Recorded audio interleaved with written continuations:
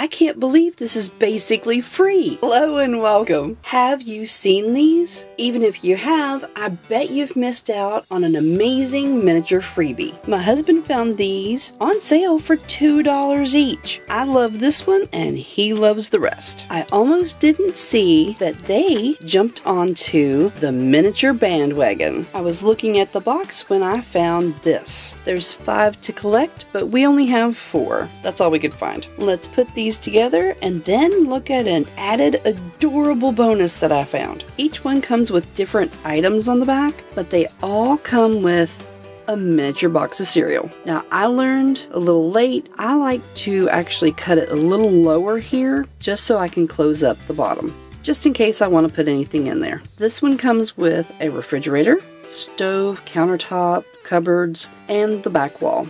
I love the clock let's go ahead and cut them out. And here we are. Let's go ahead and do the other three. I went ahead and grouped these in categories. Three of the four came with little figures. We've got the Trix Rabbit, the Lucky Charms Leprechaun, and the Cinnamon Toast Crunch mascot. Each has their own stand. This one you can actually fold over so it has two different faces, one on the front and one on the back.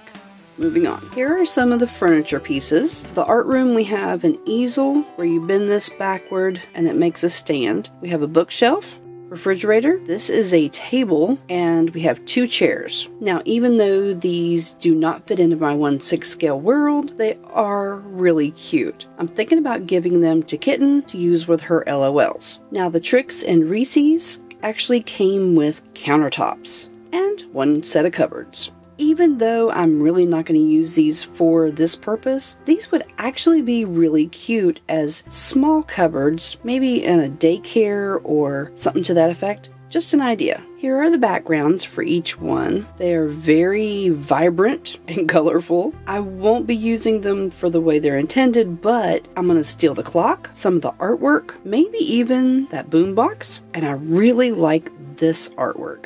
Who knows, you could even cut around the window and use it in your diorama. Now on to my favorite part. These are the cereal boxes. They're so stinking cute. If you cut them out the way they say, you're going to end up with an open, empty bottom. This is the first one I cut out, so that's how it ended up. If you bend them on the lines, they said to cut this out, I think, too, but I'm not going to. Looks more realistic if you don't. Probably would be better if I used a ruler, but I can't find mine at the moment, so we're just going to freehand it. And then show you how I put it together. I have it folded, looking pretty good.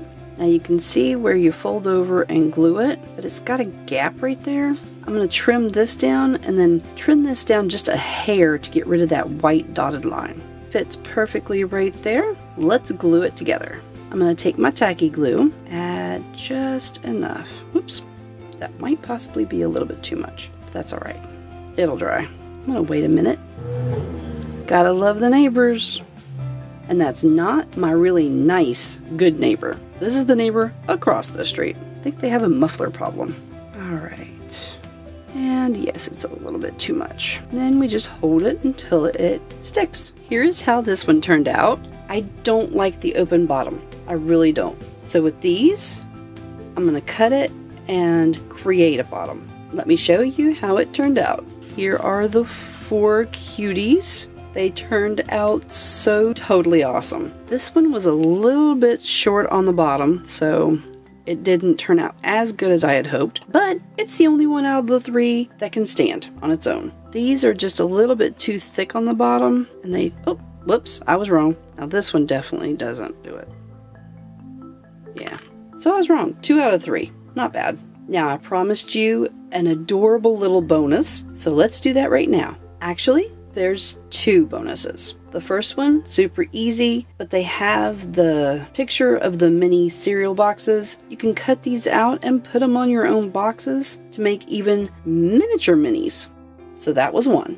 The second one, they each came with the examples of how they're supposed to be displayed. If you cut these like this, bend over the sides, your doll has their own miniature diorama. Now, these two are a little bit off, but if you cut along the bottom of the bookcase, this just looks like more artwork. This one, I think there's no hope for that one. but you could always cut it all the way down so it looks like the tables and chairs are right there anyway. These two are definitely my favorites from the mini, mini dioramas. Course, my favorite is this, the Lucky Charms mini cereal. I hope you enjoyed seeing who else is getting in on all the mini mania. Check out this video next, and until next time, toodaloo!